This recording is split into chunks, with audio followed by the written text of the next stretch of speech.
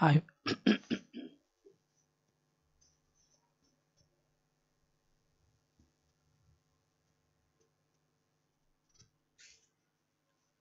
Hi friends అందరికీ నమస్కారం. Friends ఏపీలో ఇస్తున్న టిట్కో ఇళ్ళకు సంబంధించి ఎప్పటికప్పుడు కొత్త నిర్ణయాలు అయితే తీసుకుంటున్నారు. అందులో భాగంగానే మరొక నిర్ణయం అయితే తీసుకున్నారు.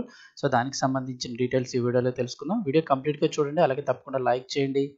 మరిన్ని లేటెస్ట్ అప్డేట్స్ కోసం ఛానల్ అయితే సబ్స్క్రైబ్ చేసుకోండి ఫ్రెండ్స్ ఇంక టాపిక్లోకి అయితే వెళ్ళిపోదాం. శాటిలైట్ సిటీలుగా వైఎస్ఆర్ జగనన్న నగరాలు.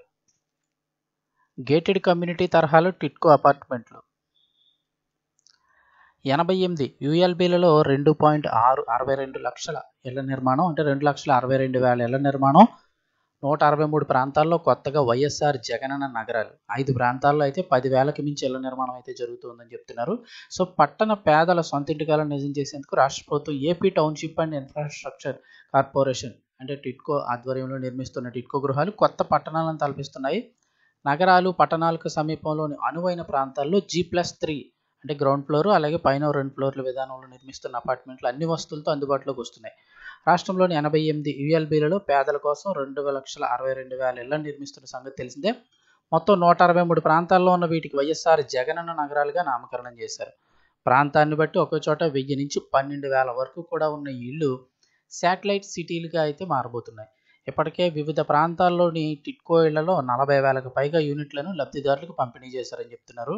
సో అన్ని వసతులతో ఆధునిక ఇళ్ళు చక్కటి రోడ్లు తాగునీరు మురుగు కాలువలు అలాగే ఇళ్ళకు విద్యుత్ సౌకర్యం ఎస్టీపీలు అలా ఇలాంటి సౌ అన్ని వస్తువులతో నిర్మిస్తున్న టిట్కోయిలను లబ్ధిదారులకు అందిస్తుండడం గమనార్హం.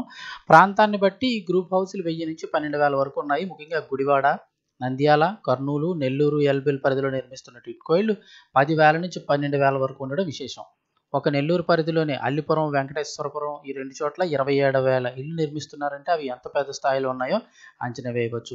త్వరలో ఈ ప్రాంతాలు శాటిలైట్ సిటీలుగా మార్చేందుకు కసరత్తు జరుగుతోంది. కాగా ఈ గత నెలలో కొందరు యజమానులు వారికి కేటాయించి ఇళ్ళకి ఇళ్ళలో చేర్చగా వచ్చే నెలలో మంచి ముహూర్తాలు ఉండడంతో మిగిలిన వారు కూడా చేరేందుకు ఏర్పాట్లు చేసుకుంటున్నారు. ఏ వెంకటేశ్వరపురంలో నిర్మించిన గృహాలు? వచ్చే మార్చి నాటికి మొత్తం రెండు లక్షల అరవై రెండు వేల ఇళ్ళను లబ్ధిదారులకు అందజేసే లక్ష్యంతో అధికారులు పనిచేస్తున్నారు. ఈ క్రమంలో ఆయా ప్రాంతాల్లోని పారిశుద్ధ్యం తాగునీటి సరఫరా వంటి అవసరాలను తీర్చేందుకు అవసరమైన సిబ్బంది నియామకం సరఫరా వంటి పనుల కోసం మున్సిపాలిటీలోని ఆయా శాఖల అధికారులు కసరత్తు చేస్తున్నారు.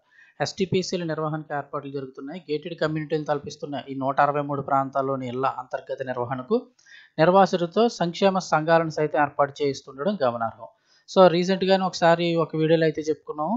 ప్రతి వెయ్యి ఏళ్ళకు కూడా ఒక కమిటీ అయితే ఏర్పాటు చేయబోతున్నారు.